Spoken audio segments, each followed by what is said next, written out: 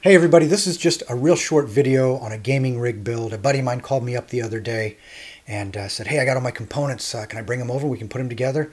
I'm like, sure, why not? So I decided to shoot some video while we got this thing rolling. So uh, if it looks like it's kind of last minute, it kind of was. But anyway, hope you enjoy it.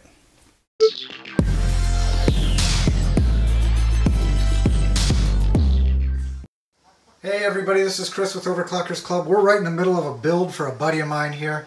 We're starting out with a Rio Toro CR1280 for the case. The heart of the system here is the MSI MPG X570 Gaming Edge Wi-Fi. And we'll also be using, for a CPU, the Ryzen 3900X. This is the latest third generation from AMD. And for a graphics card, we're using this cool Gigabyte GeForce RTX 2060 Super. Comes with 8 gigabytes of onboard VRAM. And for storage, we're going to use a couple of these solid state drives from Western Digital. We'll use a 1 terabyte for storage and we'll use a half terabyte for the operating system. So we've got the motherboard set in the case. We've got the hard drives installed. One of the hard drives is underneath this heatsink here. And then we've got the two sticks of RAM in the correct slots. And for case cooling, we decided to use some aftermarket fans here to sort of spice it up with some RGB that can be controlled. So he'll be using these GIM RGB case fans, or three of them per box, along with a little controller. And these are around $30 for a set of three 120 millimeter fans on Amazon. And finally, for cooling, we'll be using the Master Air MA620M from Cooler Master. And finally, for the power supply, we're using an EVGA 850GR fully modular power supply. So we walked through the system and determined exactly which cables we needed to use. Of course, you're going to use the main one for the motherboard, and we've got one for the CPU and the graphics card. And of course, you got to supply power to any external hard drives that you use, and also the controllers for the RGB fans. So I'll just go ahead and slide that in the case. It's best to go ahead and get the cables plugged in before you put the power supply in because it's a real pain to try and connect those after the fact. Alright, so one of the things we realized after we got the motherboard in that the bracket for the cooler won't quite fit. So I got to pop the motherboard loose so we can get that in there. Alright, so we got the bracket all installed, ready for the cooler. And it's always good to do a test fit to make sure all your brackets are installed properly and everything lines up. And then of course, make sure you peel this sticker off before you put your thermal paste on.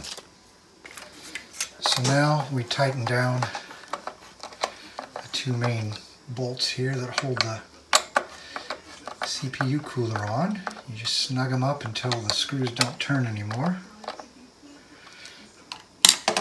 And then we're ready for the next step. All right, now it's time to get this graphics card installed. So we did a test fit just to make sure.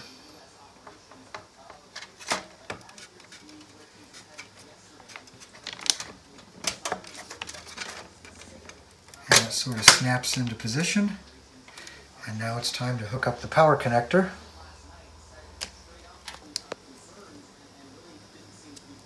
Now this is an 8-pin, single 8-pin supply, or 8-pin socket.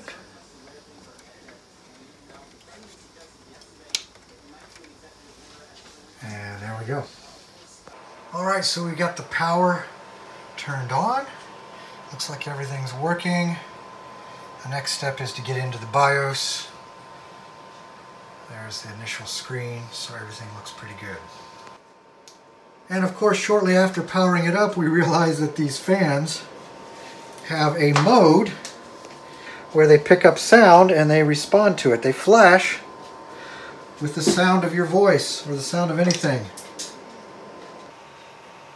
And of course, after you get it powered up, you spam the delete key, which should dump you into the BIOS, and you want to go ahead and point to, for example, we're using a uh, an external USB drive up here to uh, use an OEM Windows 10 disk so we can get our operating system installed. But you have to tell it where to boot to find that drive first. So we replaced all of the original case fans with these cool RGB fans. And there was actually one extra spot here in the bottom of the case that has a mounting provision for a single 120 millimeter fan. So one of the original fans that we took out of the front, or it may have been the rear, either way, uh, we put that fan down here in the bottom and that will help pull air from behind this power supply shroud and push it up into the case, which helps out for cooling. And here's the final product.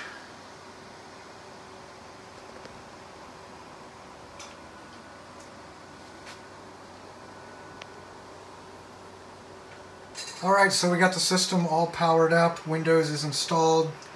Next thing is to finish all the updates, get all the drivers installed. But that's it now. We're ready to put the site on and start gaming. This is Chris with Overclockers Club. Thanks for watching, and don't forget to subscribe.